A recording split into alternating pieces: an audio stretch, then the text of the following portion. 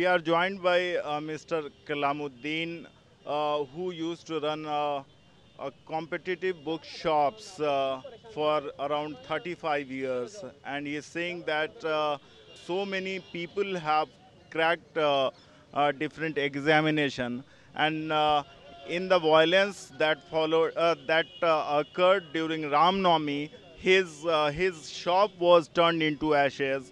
Uh, listen to him what he has to say. पूरा दुकान देख रहे हैं ना दुकान एकदम जला करके खाक कर दिए।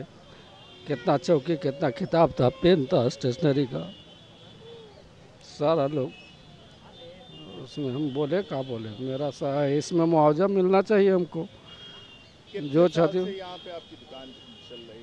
तीस पैंतीस साल से दुकान चला रहे थे हम। बहुत लोगों ने आपकी दुकान से किताबें ली। बहुत बहुत लोगों कहाँ से कहाँ कंपटीशन दे करके पहुँच गए। लोग अभी तक नाम लेते हैं जहाँ जहाँ लोग गए हैं। जहाँ जहाँ लोग समाचार सुने बार बार फ़ोन किए हम लोग के कि ऐसे कैसे हो गया कलाम भाई ऐसे कैसे हो गया। और बहुत लोगों को आपने फ्री में बुक्स दी होंगी। जी जिनके पास नहीं रहता था पैसा कौड़ी हम लोग दे देते थे बाद में पहुँचा देंगे। कभी नहीं होगा नौकरी हो जाएगा तभी दे दीजिएगा। अभी दरोगा मेरे को जल्दी बिहार में हुआ है। लड़का के बेचारे को उधार देते थे। आगे कहीं की ज्वाइन करे दीजिए हमको आपको पाँच हज़ार रुपया बैक्सेस में हम अलग से देंगे। क्या बोला था? जी आए थे बैठ के मुलाकात करके गए।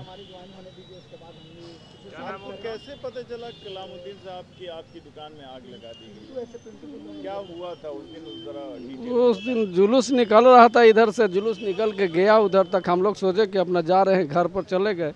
घर पर पता चला जी, बंद करके चले गए। खुलबे नहीं किए थे। दुकान देखने आए थे उस दिन। जुलूस निकलना था तो दुकान सुबह से बंद था। जुलूस निकले वाला था। अब कुछ दूर सरकारी हॉस्पिटल तक पहुँचा। हम लोग चले गए। बाद में पता चल रहा है, रात में पता चल रहा है कि दुकान जल गया, आपका आग लग गया, पूरा तोड़ फोड़ हो रहा है उधर।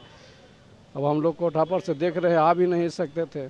मोहल्ला से निकलना भी मुश्किल था उस वक्त। बचाए कैसे? अब वहीं पास अफसोस करके रह गए कि लगता है दुकान जल गया। सुबह आके भोरे देख रहे हैं कि पूरा एकदम जल के खाक हो गया। कोई सरकारी ऑफिसर मिलने आया? किसी मुआवजे की बात कह के गया? मुआवजे के तो बात कह के जाते हैं कि मिलेगा मिलेगा। आपको मिलेगा मुआवजा मिलेगा। आप कब मिलेगा तो उन्हीं लोग जाने। कितनी लागत थी आपकी दुकान में? तो आठ दस लाख रुपया के लागत था मेरा। सारा महँगा महँगा बुक आता है अब। स्टेशनरी सामान आता है महँगा महँगा। मार्च अप्रैल के सेशन के लिए मंगाए थे बहुत सारे सामान। यही बीस पच्चीस साल हो गया दुकान के। किस चीज़ की दुकान? किताब के दुकान था competition book competition one one से पीजी तक हम लोग किताब बेचते थे। क्या हुआ? वही पच्चीस तारीख के मोटरसाइकिल जुलूस निकला। जुलूस में कुछ हगामा हुआ। हगामा होने के बाद लोग इधर आया से आग लगाना स्टार्ट किया। मेरा दुकान पच्चीस के शाम के छः बजे जल गया था। कलाम साहब का भी उसी दिन हुआ। उस दिन भी उनका आग लगा था हाँ। लेकिन पच्चीस परसेंट जला था। दूसरा दिन फिर लगा सारा दुकान जल गया। कौन लोग थे? क्या कहेंगे आप उनको? अब कौन लोग के बताया जाएगा? वो तो रैली निकला रैली में तो सारा लोग थे। मतलब जो जो रैली में थे हम लोग तो देखे नहीं। हम लोग देखे नहीं। आपने देखा दुकानें हाँ हम लोग मतलब हम पाँच बजे बंद करके चल गए।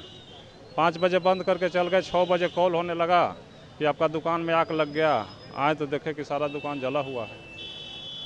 कैसा लगा देख? देख करके तो अब आदमी क्या करेगा? जला ही दिया लोग। तो देख करके तो थोड़ा लगता है कि मेरा बाल बच्चा इसी से खा रहा था और बहुत ही नुकसान लगा हम लोग कितने बच्चे हैं आपके? मेरा बच्चा चा तीन बच्चा है। एक बच्ची है दो लड़का। सब इसी से पूरा घर चल इसी से पढ़ाई लिखाई वगैरह हम लोग चलाते थे। क्या धर्म के नाम पे इस तरह का उन्माद फैलाना इसको क्या आप बोलेंगे? अब इसको हम लोग क्या बता बताएँ क्या इसको कहा जाएगा? ये मतलब ये तो पॉलिटिक्स समझा जाएगा ना। पॉलिटिक्स राजनीतिक लोग करके इस इस तरह के कर रहा है दंगा फरसाद करवा रहा है लोग।